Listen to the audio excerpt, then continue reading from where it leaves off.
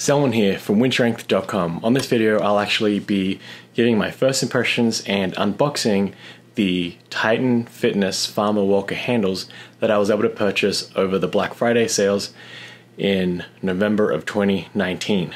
Titan cops a lot of flack for their shipping procedures and policies. Uh, here's a quick video of me just going around the box showing you the exact conditioning of how it arrived at my house. Uh, nothing too crazy, and again, it's not completely on Titan's fault when we're shipping uh, things that are like 100 pound boxes. Again, carriers that deliver these boxes don't necessarily treat them with the same amount of respect that we would like. So, with all that being said, I think the package arrived pretty well in good condition. You notice one of the seams that looks like the staples uh, started to pull out of the out of the cardboard, and someone did come along there and retape the box up. So Hopefully nothing is missing. We'll see what happens when we cut open the box and find out if there's any parts that aren't there anymore. Uh, so what's actually really cool is they've actually double boxed the Farmer's Walker handles, which is really nice. You know, so there is that outer shell that did take a little bit of a beating, but within that box we've actually have another big cardboard box inside that doesn't look to be as damaged at all. Uh, the staples kind of held in place as much as possible. So I think Titan's really stepping up their game uh, you'll see here when we go inside of the box that they've put a little bit of styrofoam. There's probably a lot to be uh, wanting with the way they have packaged packages up, to be honest with you. They could have put a bit more uh, styrofoam in there, but for the most part, we're talking about pretty heavy metal pieces that will take a lot to damage, and I'm pretty much going to bang these up outside anyway, so not too big of a concern.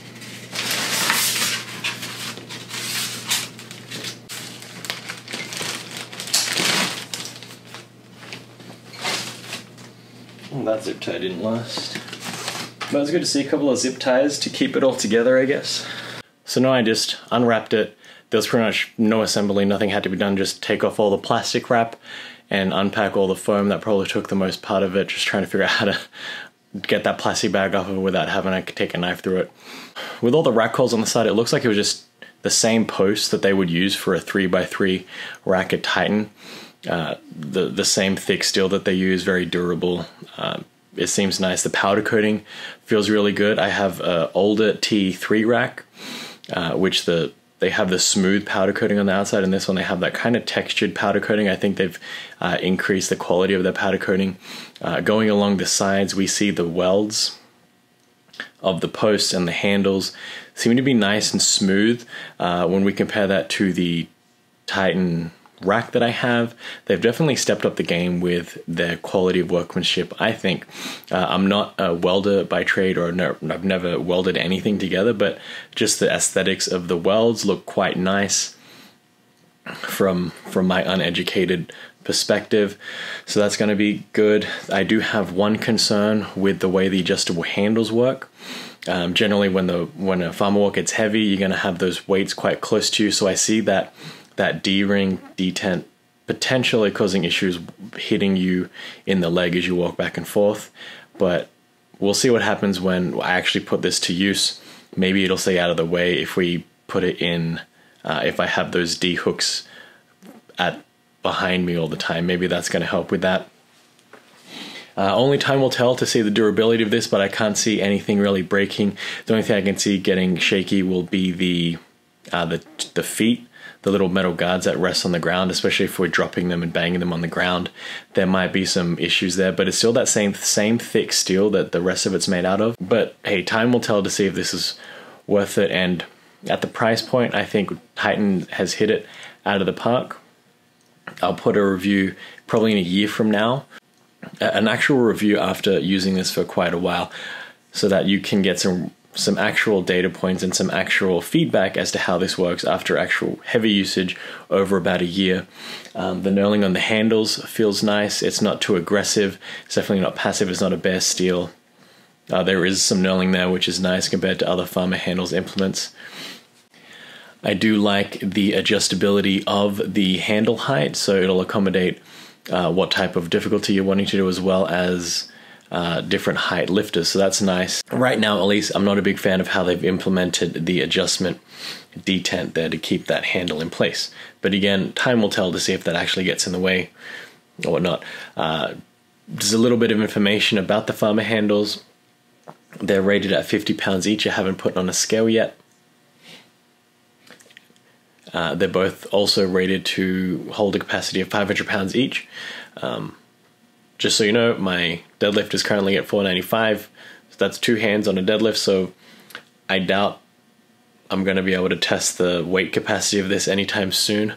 So when I do hit to that point, it's probably going to be time for an upgrade because at that point, if I'm able to farmers walk a thousand pounds, well, in excess of a thousand pounds, uh, yeah, I think the 45 pound plates that I have to put on here is going to be, there's not going to be enough room for the amount of 45 pound plates I have to load up with.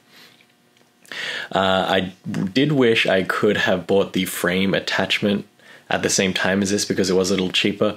I'll throw the pricing up for what I got it for anyway, and then the regular street pricing. There again, with your purchases, I would highly recommend to wait for Black Friday. I did wait around for a couple of months before getting these on Black Friday. Unfortunately, the frame attachments were out of stock, so I wasn't able to acquire those when I bought this bought this set. So maybe down the line they come back in stock, or I'm thinking I can use a couple of two by fours and make a frame attachment uh, that way connecting the two posts or even using the the pinholes on the side there to join it somehow. Again nothing uh, major right now but first impressions I think it's cool. I picked them up. It feels quite solid um, I'll do a little bit of walking around with it uh, to see how it feels with some weight in the hand and we'll save some verdicts for a year from now. So I thought I'd give you guys some quick tips as to how to get started with a farmer walks if you've never done it before. I think is this as a quick rundown, nothing crazy in depth or anything like that. Uh, just a couple of tips that I picked up while at the training hall up at uh, Thousand Oaks. So one thing you want to do is uh, first off starting with the warm-ups. So warming up, you'll probably want to do some uh, light cardio or some walking at the very least, and then maybe some body weight squats and maybe a 40% of you want to rep max squats just to get the blood flowing because this will be a quite uh, leg intensive uh, exercise. The other thing you want to do is uh, just make sure your grip and hands are kind of nicely warmed up. So do a little bit of light holding. Uh, start off with the empty farmer walks and just do a couple of rounds of light walking just to get the, the blood flowing and whatnot. I wouldn't worry about anything else, but you definitely don't want to tax yourself too much before you start doing some farmer walks. Uh, the next thing comes up to is how you want to set up the actual the actual farmer walk handles themselves. Uh, I like to do a little arrow formation so you can see here they're not exactly parallel they're kind of arrowed in uh, just so it's kind of a it's mental so it points you to where you want to go and then b your hands will naturally want to curl in a little bit as the weight gets heavy so you're not trying to force the weight isn't trying to force you in you're already starting off in that inwards position and that just helps with that grip and helps with making it a little bit easier to do uh, when the weight starts to get heavy. and you always obviously want to line up everything in the center of the stand, so you really want to make sure that the you're in the middle of it and everything's kind of as symmetrical as possible before you get started. And how far apart they're going to be depends on your body structure, but generally uh, you're not going to obviously hold them out here because you're not going to be able to do that when the weight gets heavy. They're going to be as close to your sides as possible. So when you come down, they're going to be pretty much touching your thighs.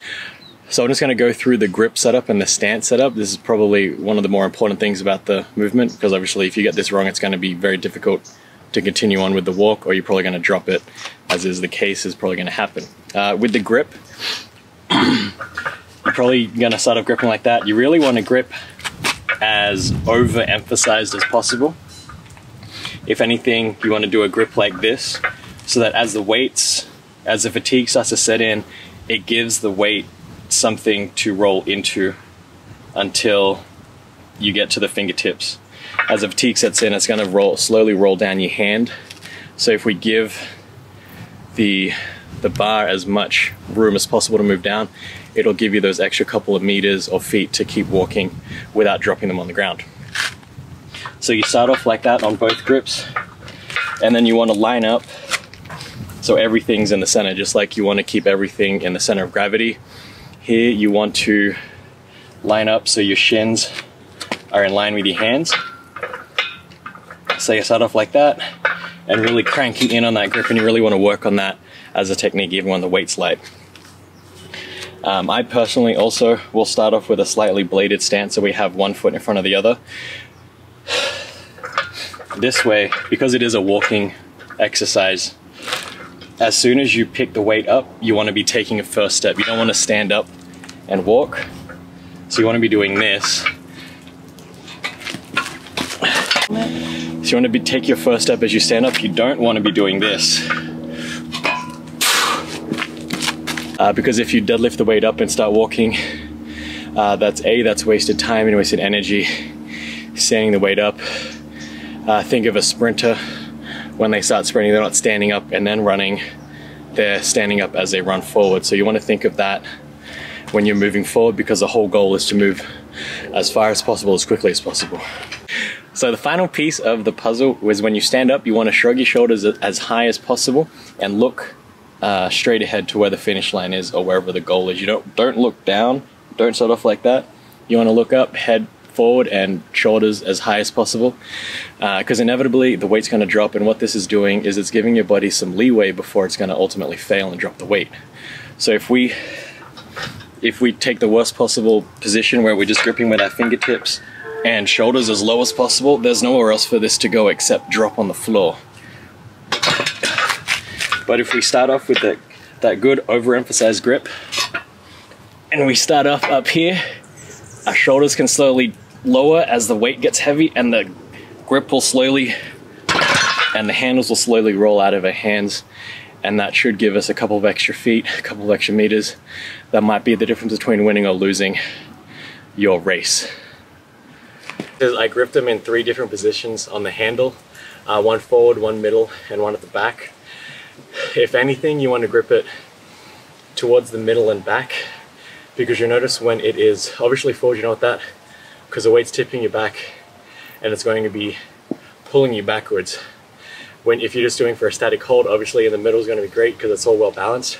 But if we're talking about moving forward and walking with this implement, you want to have the center of gravity slightly in front of you so that it's pulling you forward and forcing you to walk up and keep with those steps. So when you pick it up, find the center balance of the implement. If you can practice with it, um, figure out exactly where to hold it so you get that fine balance between it tipping too forward and hitting the ground and being backwards and not allowing, not giving you that little bit of advantage so that you can walk forward and it's pulling you forward almost. And finally, with the gait of walking, you notice uh, they'll take a lot of small steps. That's just to take away the stress of uh, the weight, is to reduce the load. Much like we don't walk with giant steps. Um, it, like we wouldn't lunge our way to the kitchen, we just walk with a regular gait. When the weight gets heavier, we want to dissipate the energy as much as possible. So taking short little steps, usually like heel toe, is a good way to strike that balance between getting somewhere and the weight being too heavy. Um, obviously, quick steps are better. You want to focus on really shuffling those feet forward and leaning forward as much as you can. Again, to get that advantage of pushing that weight, that center of gravity in front of your body. So you're driving yourself forward and you're almost falling forward and using your feet to catch you. So you can get across the, the starting line, the finish line as quickly as possible.